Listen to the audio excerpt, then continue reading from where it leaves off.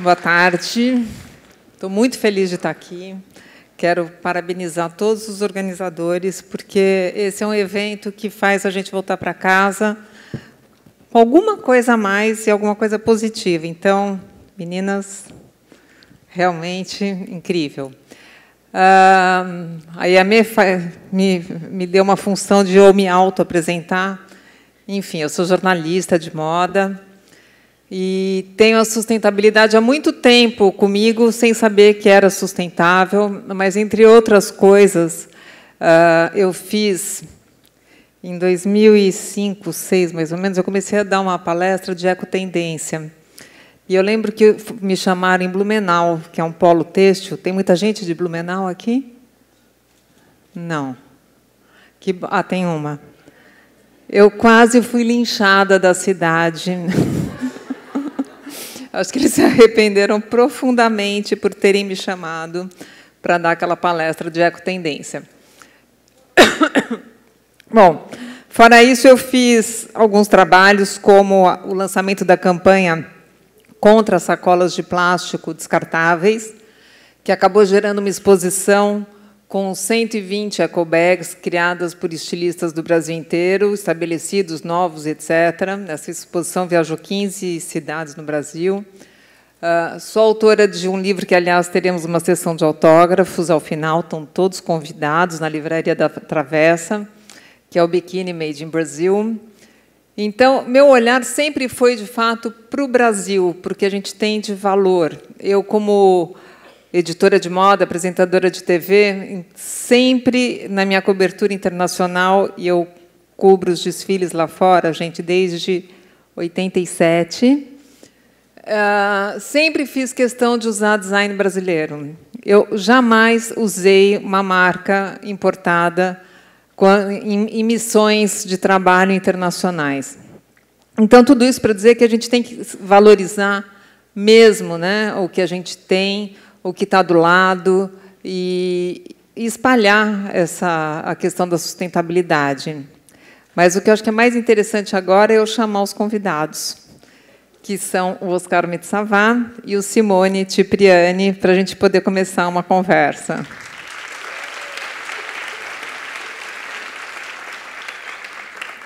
Bom, vou começar apresentando o Oscar. Bem-vindos. Bom, Oscar também acho que dispensa apresentação, mas só para lembrar algumas coisas, acho que o Oscar tem uma mente disruptiva, que é muito saudável para a moda, e ele está sempre se reinventando, ou nem sei se se reinventar é o melhor termo, Oscar, mas, enfim, de médico para moda, de moda para artista, e sempre com propostas que fazem também o, mercado uh, pensar de outra maneira, fora da caixa. E há muitos anos também, porque a gente vai falar disso daqui a pouco, mas hoje é uma questão fundamental. Mas 10, 15 anos atrás não era. Né? E o Oscar uh, foi citado, inclusive, hoje a gente estava lembrando disso no almoço, num relatório sobre o luxo podemos falar, o luxo profundo do WWF, o Oscar foi, a Osklen foi citada como o como future maker. Então, como exemplo do que poderia ser feito a partir da, daqueles dados que eles uh, coletaram de toda a problemática que havia no mercado de luxo. Então, uh, numa época em que isso era absolutamente inovador, a Osklen já estava ali como uh, parâmetro de qualidade, e isso é maravilhoso para todos nós, né, como brasileiros especialmente. O Simone, que eu tive o prazer de conhecer hoje, e é uma figura encantadora. Imagino o trabalho que ele tem e como ele leva essa simpatia para lugares assim muito distantes do mundo. Ele me corrige, Simone, mas acho que você trabalhou com indústria calçadista e couro e acabou criando uma, uma verdadeira uh, corrente ou cadeia, eu sei que são palavras complicadas em português, uh, em lugares muito distantes ou muito uh, carentes, como Etiópia, como Afeganistão, que acho que seria muito interessante ele contar um pouquinho disso. Not Ethiopia. I, No. I worked in Ethiopia when I was young in the industry and then I left. Ah, before? And, uh, and Cadê o microfone? Where is your micro? Simone, give the other one to Oscar, please. E, então, Etiópia foi antes de você. Conta. Conta pra gente. Ah, mamma mia, I knew. you, you, you, you, see, you sit with the journalist and you get the, the question, the difficult question, like this. uh, And I have my friend Carlo there, who is a friend of yours. Why do you Yeah. do this to me? Uh, uh, the transitivity uh, Mas conta rápido que a gente tem muito no, assunto. Ethiopia, I lived in Ethiopia. I lived in Ethiopia many years ago. Uh, put the micro. Uh, I lived in Ethiopia many years ago, but uh, uh, I left Ethiopia to develop the Ethical Fashion Initiative in Islam of Nairobi. Ethiopia was an excuse to be close to Kenya, and so the Friday evening when I closed the factory in Ethiopia, I took a flight and I went to Kenya and Islam to live with some missioners. And, uh, and they used to put me, as I arrived Friday night, in a convent of nuns. But as they were nuns, and I am a bearded being, uh, they, they put me in the garage with the car to sleep. And, and Saturday morning, somebody used to come to pick me up to work in the slum. So Ethiopia is because of that. I have still many friends there. Then with the Ethical Fashion Initiative, we tried. But Ethiopia has taken the way of mass production. And uh, somebody said it this morning, this gentleman there from the Brazilian industry, and, uh, and of very low wages. Uh, my friend there said $30 per month. In reality, it's 26 it's even lower. And so we took the executive decision of staying out of the country because implementing our system there is, is very difficult. I don't, I'm not expressing any judgment, nothing, but I say that for our kind of system, it's impossible to work there. e co- como é teu trabalho na ONU hoje em relação a. It's the most beautiful work in the world because uh, when I started conceiving the Ethical Fashion Initiative, uh, I saw this document of 2006 in which there was Oscar. And I was dreaming about meeting this guy here. And then, thanks to this work, not only I met him, but we became friends. And, uh, and it's the work that allows you to be in very difficult places, in conflict war torn countries, in difficult communities, and to see the power of work, of decent work, to change reality, to regenerate the social capital, to bring about collaboration and peace. I have the most beautiful job in the world. Really, I'm very grateful to, to, to Like God you. and to everybody. Agora eu queria falar com vocês. A gente viu no começo do século XX a primeira revolução no mercado de luxo, que foi a experiência e o consumo no mundo virtual, digital.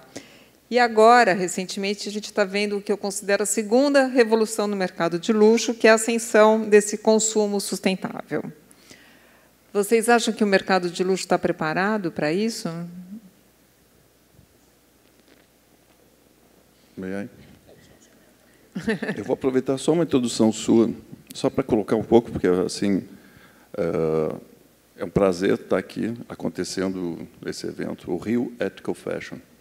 Lembrar que tudo começa na Rio 92. O que nós estamos aqui hoje é por causa da Rio 92. Depois Rio mais 20.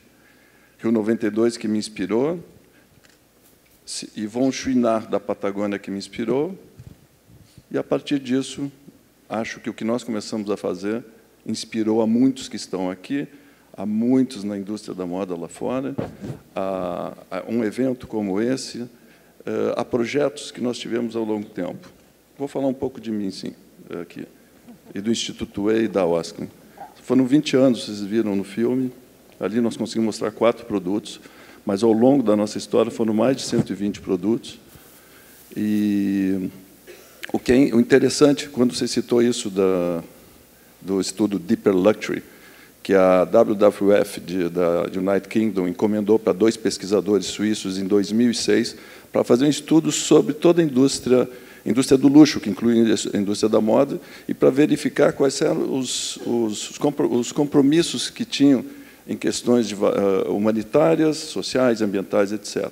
Saíram índices dando uh, o, o, índice de cada um em cada, cada empresa de luxo, onde ela fazia parte, etc., etc. E teve esse capítulo, então, com críticas, teve esse capítulo que era muito interessante, o capítulo 7, que se chama The Future Makers, Fazedores do Futuro. E daí, ali na primeira página, assim grande, era Osklin e Tesla. Tá? Isso em 2006, 2007. Uma, um reconhecimento para a maior instituição do mundo de preservação. Uh, ali foi muito bom, foi muito importante para nós, e junto com a Unesco, aqui que também nos apoiou no início, que nos deu a percepção do que nós estamos fazendo e como a gente podia compartilhar nossas experiências, a minha visão de 98, os conceitos criados por nós, os nossos critérios que nós fomos criando ao longo do tempo e criarmos junto com a Unesco o Instituto E. O Instituto E ele serve para quê? Para pegar todas as práticas desenvolvidas juntos na OSCE ao longo desses anos porque o interessante da OSC não é que nós usamos os materiais sustentáveis. O mais interessante que eu gosto de, de, de colocar aqui é que eu e minhas equipes do Instituto E e da OSC e tudo, nós desenvolvemos a maioria dos projetos do zero. Para mim é super interessante. Eu me lembro quando vocês começaram a Veja, que vocês foi muito interessante. O primeiro algodão orgânico que vocês usaram para fazer veio de um projeto nosso no interior da Paraíba que nós havíamos começado em 98. Então foi é, é muito interessante é, ter percebido isso, os conceitos que nós trouxemos e essa mudança que está havendo. Para complementar, é, olha que interessante como é uma coisa ongoing, ongoing, ongoing. Ano passado, então, 20 anos, quando nós percebemos que fazia 20 anos de Osklin, nós convidamos a COPEAD, da Universidade Federal do Rio de Janeiro, o Leonardo já apresentou aqui um trabalho antes, para fazer um mergulho profundo dentro da Osklin, profundo, profundo dentro da Osklin, uma transparência total na empresa, não só nos projetos sustentáveis, sociais e ambientais, para fazer um estudo dos, do qual economia que nós realmente criamos né, no, na cadeia de produção. A economia Economia, ou seja, de criar novos postos de trabalho, tem ponderado X pessoas, economia de água, economia de energia elétrica, economia de processos que contaminem uh, o meio ambiente, de, de, impacto social e tudo. E os números são grandes, vocês viram parte deles no filme antes ali. Uh, isso deixa muito feliz, muito enobrecido o nosso trabalho, óbvio, mas ele serve muito, muito, muito como uma cadeia. Existe hoje esses produtos, essas linhas de materiais que nós fomos desenvolvendo junto ao longo desses anos, o Instituto E, junto com elas, isso não é uma exclusividade da Oscar. A Oscar criou isso e eles estão no mercado. E várias outras indústrias outras estão começando a usar. Esse era o sonho que nós tínhamos lá atrás. E para complementar, olha só, interessante essa semana aqui o que está acontecendo, essas conferências do Ethical Fashion agora acontecendo aqui. Uh, que a minha foi ótima essa tua ideia de trazer para cá. Eu não tenho dúvida que isso aqui vai virar um grande evento, que palestrantes do mundo inteiro vão ser, ter o maior prazer como vocês vieram para cá. Agradeço vocês terem vindo prestigiar esse evento. Eh, eu acho que isso aqui é um filho realmente da Rio 92. olha que interessante, semana que vem, daqui uma semana, eu vou estar lá na aldeia dos Caiapós, desenvolvendo um novo projeto Dia seguinte, eu embarco para Paris, eu tenho minhas reuniões com a Courrèges, com a marca Courrèges, né, a grande inovadora dos anos 60 do plástico, a grande inovadora, que me convidou para trazer as visões e práticas sustentáveis, minhas e do Instituto E, que nós fundamentamos com a Osklin, para fundamentar toda a visão e a próxima relação da marca Courrèges no mundo. Então, isso, eu quis fazer só um apanhado geral para conhecerem um pouco mais o nosso trabalho, e daí, para responder a tua pergunta. Se o mercado de luxo está preparado para essa nova. Sabe, olha só, vou falar uma coisa. Foi interessante, estava falando com o Timone agora no almoço. Esses últimos, eu diria, semanas ou meses, eu percebi uma coisa muito interessante, que é uma crítica para nós muito, muito boa. Há 20 anos atrás, sempre, nós sempre apontávamos a indústria, né? E continuamos. Ah, essa indústria polui, ah, essa aqui não faz isso. Ah, por que, que essa aqui, por que, que essa indústria aqui não cria um material sustentável, etc. Nós, sociedade, e nós, instituições. Sempre cobrando. O que eu pude observar agora, 20 anos depois, o que nós temos, é que a indústria está muito mais à frente do que nós, do que nós como sociedade. Nós, sociedade, individualmente, nós não mudamos nada, muito pouco. Reflitam cada um de vocês. Eu não tenho dúvida que a nossa escolha de consumo, ela ainda por duas formas. Uma, ou pelo consumo, a procura do luxo europeu, da sofisticação das grandes marcas, ou pelo status das marcas, ou pelo, realmente pela qualidade estética e qualidade delas, né, de consistência. Mas essa é a escolha. A nossa outra escolha de, de, de compra é o estilo uh, do American Dream, é consumir mais por menos, não é? É consumir mais por menos. Então, eu tenho certeza aqui que a questão de sustentabilidade ela, ela, nós pensamos ainda um pouco na escolha dela, mas ela não é a escolha principal. Nós ainda não mudamos sociedade. E se nós não mudamos, e olha que nós somos um grupo de pessoas intelectualizadas, cultas, que tem o valor da preservação social e ambiental, somos da área e nós ainda não mudamos. Nós também, designers, marcas, mudamos muito pouco. Muito, muito, muito menos que a indústria. Muito, muito menos. Eu lembro na década de 2000, quando, exatamente naquele início né, que nós tivemos, ali anos 2000, que se falava em sustentabilidade, era uma tendência. Várias marcas e designers, várias, não só no Brasil, fizeram algumas coisas pontuais para dizer que estavam no trend, na tendência da época, e não seguiram os projetos. Isso não é desenvolvimento sustentável. Isso, é, para mim, é sacanagem com as pequenas cooperativas, com as pequenas empresas que se dedicaram a né? mudar. É um oportunismo que houve. Tá? É importante a crítica. Me sinto numa situação que eu posso criticar. temos nossas falhas. Difícil né, de mudar muitas práticas ainda. Né? É por isso que tem o as sustainable as possible. Isso é um conceito que me guiou quando eu percebi no início que era naif, era ingênuo tá? acreditar que ah, vamos ser sustentáveis agora de uma hora para o outro, de um dia para o outro. São 200 anos de revolução industrial. Vai levar, talvez leve só 50 anos, mas talvez possa levar 200 anos para que nós tornamos 100% sustentáveis Não, numa nova economia. Esse é o melhor conceito que você é podia o... criar. Ah, Porque, de fato, é muito complicado. Ele, ele é inclusivo, né? ele, ele nos inclui no sistema é. né? de, de transformação. E te dá a, a o input para começar de alguma maneira, porque senão ninguém faz nada. E só para ter, então, a indústria mudou. A indústria está nos dando caminhos ótimos. O que existe de novas fibras, novos materiais, pigmentações, etc, etc, etc. Inclusive, aproveitar fazer um, nós estamos lançando essa semana um projeto que eu sonhava há anos lá atrás, que se chama e-colors, né, do, do Instituto e-colors, que é, são t-shirts do algodão 100% sustentável. Né? A pigmentação é toda com uh, corantes uh, naturais e o lavagem para deixar confortável o wash da camisa é feito com, com, com menta. Tá? É um projeto riquíssimo, belo, é que parece simples quando ele está pronto ali na loja, né? mas são anos e anos e anos de uma visão, de um desejo e de ir atrás de colaboradores, pesquisadores, uh, nas instituições acadêmicas, científicas, empresas que acreditam, comunidade que topa fazer o projeto, para chegar nesses materiais todos que nós temos, é um trabalho tão lindo por trás, tão rico, tão sofisticado, que é por isso que eu chamo disso de um novo luxo. Porque é o luxo do hein? século XXI. Olha, a gente já sabe da Correge, do lançamento da, da linha de camiseta. Furos aqui, muitos furos.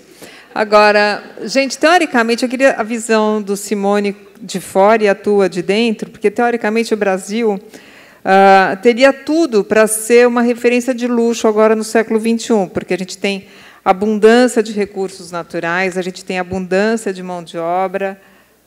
O que está faltando, então, para a gente virar essa referência? Não, eu quero a visão dos dois, por favor.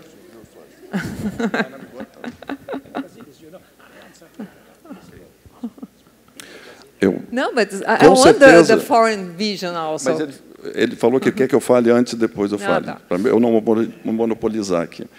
É, com certeza, inclusive está isso na missão do Instituto.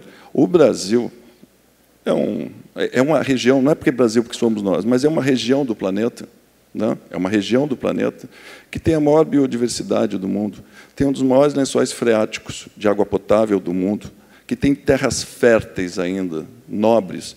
Para ser o Brasil é, é um solo fértil em todos os sentidos, inclusive criativo, porque a nossa cultura é diferente de outras culturas, não melhor, mas diferente, que eu gosto de chamar de fresh civilization. Nós estamos numa civilização nova. Então, nossa criatividade ela é diferente.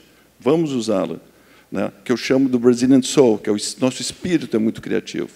E a questão de sustentabilidade, nós somos um solo fértil, virgem, ainda para poder se desenvolver economicamente, diferente das outras regiões do planeta que tiveram se, se desenvolver economicamente num período que só se conhecia o desenvolvimento linear e não circular. Não, não se entendia ainda a questão da preservação. Só se fala da preservação a partir dos anos 50. As Nações Unidas fizeram a primeira reunião para falar de preservação nos anos 50. E só na Rio 92 que compreenderam o que é desenvolvimento sustentável, que é uma coisa muito bonita. Sim, podemos usar os nossos recursos naturais para a economia, desde que nós saibamos deixá-los iguais ou melhores para as próximas gerações. Então, o Brasil tem a oportunidade, o mundo inteiro, né, o mundo inteiro tem conhecimentos e novas metodologias e tecnologias de, de exploração de recursos naturais de uma forma contemporânea do século XXI. Então, a, a região do Brasil, fértil em todos esses sentidos, nós, estamos, nós temos que o quê? colaborar com pesquisa, com desenvolvimento tecnológico, tudo do mundo inteiro, para pegar isso aqui e transformar numa economia do século XXI.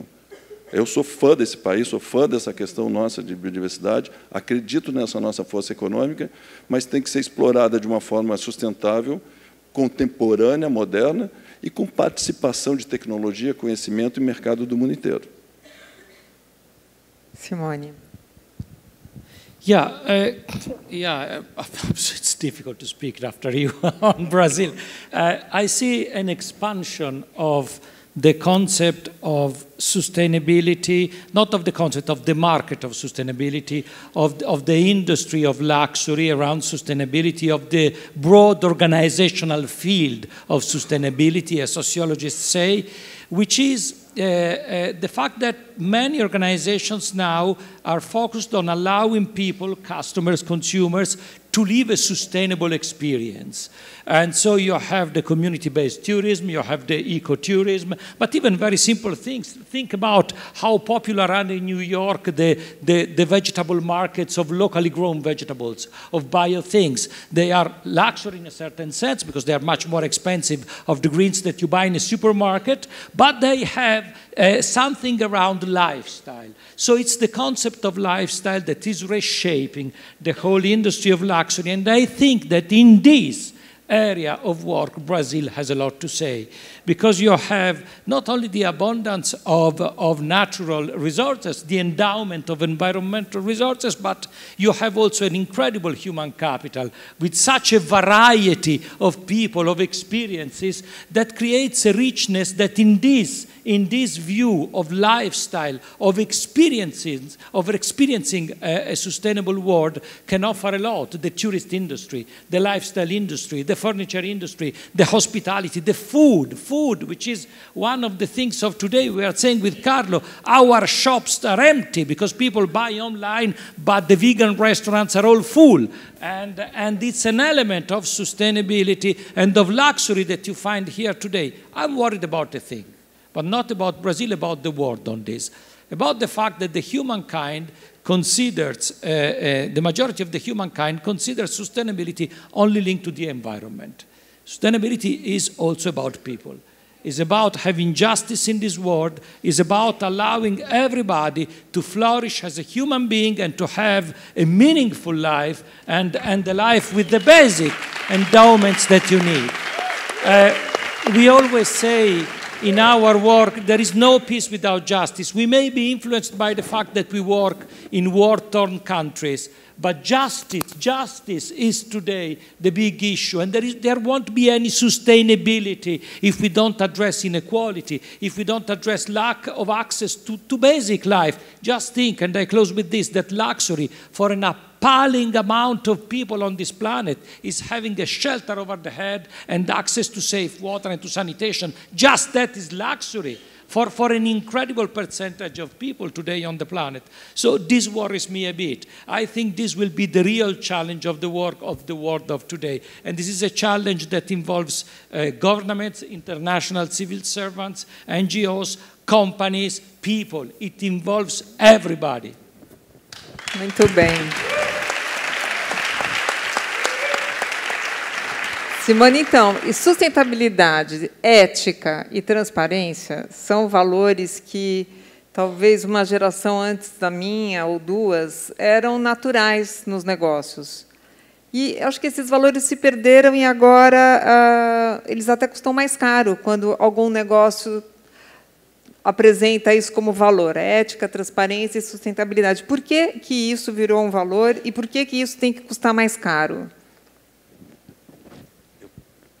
Custa mais caro, Oscar? Custa. Deixa eu começar. Por que que... Me lembro, são duas perguntas que você fez. Então, vou falar a primeira.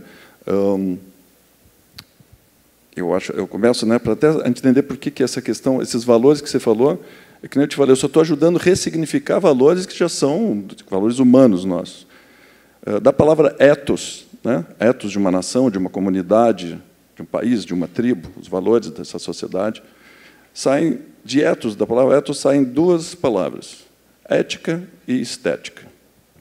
Então, eu criei um, um, um, cálculo, é uma equação, desculpa, é, filosófica, mas não sou especialista em filosofia, mas só para chegar nesse conceito. Ética, então, ética é igual estética. Isso é muito importante. Os gregos já diziam, de ethos vem ética e estética. Então, eles já diziam que ética é igual a estética. Estética conceitualmente falando, é igual a design. Design, quando bem feito, né, com afinco e tudo, é igual a sofisticação. Né? Sofisticado, aquele produto, ele fica sofisticado. E sofisticação, para mim, é igual a luxo. Então, nesta minha equação, ética é igual a luxo. Luxo, luxo. Luxo vem da palavra lux, luz divina da criação, do espírito, do espírito humano. Né? A gente tem que lembrar isso. Luxo, para mim, não é exclusividade. Quem disse que luxo é exclusividade? Sempre uso essa. Ver um sol, nasce, um sol nascendo, um sol se pondo, às vezes eu digo, uau, ah, que luxo isso. Obrigado, Deus, por estar aqui vendo isso aqui. O luxo é acessível a todo mundo, porque o luxo é aquilo que, para mim, vem de dedicação. Ele só acontece quando teve dedicação. Vamos pegar uma coisa assim, vou terminar rapidinho. Valores nobres. Qual é o valor nobre, qual é o valor humano mais nobre que existe? Acho que vocês vão concordar comigo, vou tentar assim, é quando nós nos dedicamos ao outro. Né? É o, é o mais lindo. A gente não tem aquela velha antiga, ah, vou ajudar a velhinha a atravessar a rua, né? dedicarmos ao outro. Então, quando nós dedicamos o nosso tempo, o nosso talento, nosso carinho, nosso amor, nossa pesquisa de materiais e tudo, para fazer alguma coisa, né? criar alguma coisa, fazer alguma coisa tão boa quanto você gostaria para você. Né? O máximo, o esmero o seu do seu. Mas para o outro, você está sendo uma pessoa o quê? Nobre. E se você faz isso tudo que eu descrevi, né, essa dedicação toda para criar um produto ou um serviço para outro, aquele produto vai ficar o quê? Sofisticado. E sofisticado, para mim, o que, que é? É luxo. Vem de dedicação. Dedicação. Então, a gente começa a reconhecer que nobre é igual a luxo, nobre é igual a ética, nobre é igual a dedicação. Para mim, o conceito de novo luxo ele vem dentro desse, desse conjunto de coisas que eu, que eu coloquei. Agora, porque outra pergunta que eu acho ótima, a gente sempre pergunta, ah, por que, que sustentabilidade, o produto tem que ser caro? Não, não tem que ser caro. Ele é caro. É caro por quê? Primeiro, é inovação. Toda inovação é cara em qualquer segmento da indústria, em qualquer segmento, em qualquer área. Né? Ele é inovação. Nós estamos vivendo, passando de 200 anos de uma revolução industrial para uma nova indústria. Nós estamos, e eu gosto de dizer que eu sou muito feliz e grato de estar vivendo uma geração da, uma geração da civilização do planeta. Nós estamos vivendo uma das mais belas e lindas que tem. A linha civilizatória, se nós formos ver, o, país, o mundo já quase morreu várias vezes. No período glacial, na, no meteoro na Península de Yucatão, nas grandes pestes que tiveram, né, de doenças, na Primeira Guerra, Segunda Guerra, ameaça atômica, etc. E agora nós estamos num planeta morrendo. Né? Porém, realmente, desde os anos 50 até agora, essa geração nossa, o nosso mindset, se nós estamos todos aqui, numa sexta-feira de tarde, ouvindo e discutindo isso, esses valores, e querendo ver e nos tornarmos protagonistas dessa mudança, é porque o mindset das pessoas que eu considero nós aqui, nós somos formadores de opinião. Nós estamos na, na, no topo da pirâmide de formadores de opinião. Se nós estamos nos dedicando a isso, é porque o mindset já foi. Nós estamos realmente, nós somos protagonistas de uma mudança de transformar esse planeta num planeta vivo de novo. É caro ainda porque, então, é inovação. O investimento é muito grande. Dois, não tem escala. Por que não tem escala? Porque são ainda inovações, não tem escala porque tem comprometimentos de impactos sociais, ambientais, etc. Né? Não tem escala porque nós, sociedade de consumos, não compramos. Nós não compramos. Nós estamos falando aqui, não compramos. De, uh, moda sustentável ainda não, não é uma coisa lucrativa. Ela é investimento. Ela é investimento que vem, talvez, pela ideologia dos seus criadores, acionistas, suas empresas, em qualquer área, não só, né? ou é porque tem visão de que esse é o futuro, lá na frente. Né? Então, é, um, é ainda uma dedicação nossa de sociedade, designers, empresas, criadores, investimentos, etc. Não é uma realidade econômica ainda. Também, bom, pode ser uma realidade o quê? de marketing da marca, e não estou falando mal aqui, estou falando de promover se a essência né, da, da marca. Mas é, é ainda caro porque nós não compramos, se nós não compramos, não se cria escala. Né?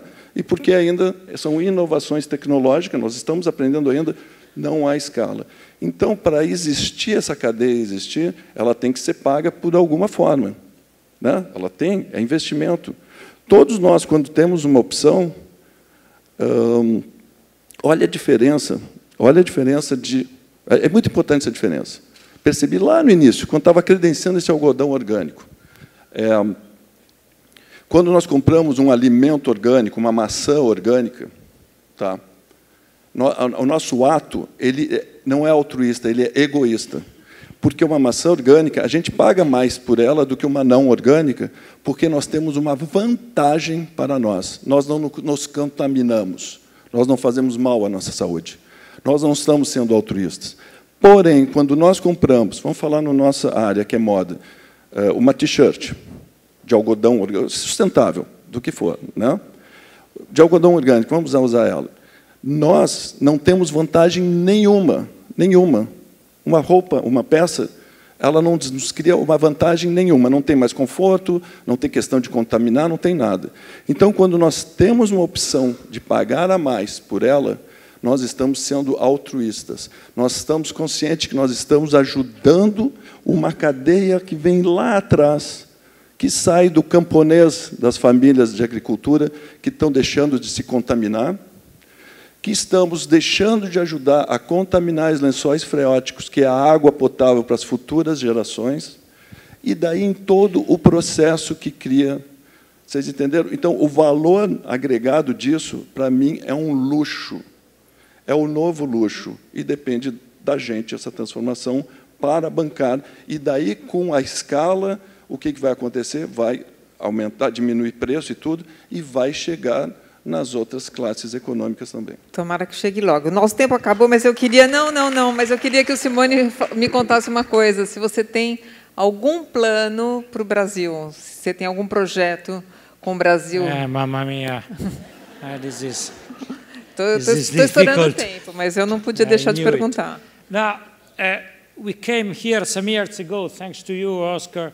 And, uh, and we started working together in Haiti doing that beautiful collection with you and with Instituto A, with Nina. Do you remember, Nina, when you did your trip to, to Port-au-Prince? And we met a formidable group of people, Los Catadores, uh, uh, those, the rug pikers, those who recycle from the dump sites. And I fell in love for these people, really.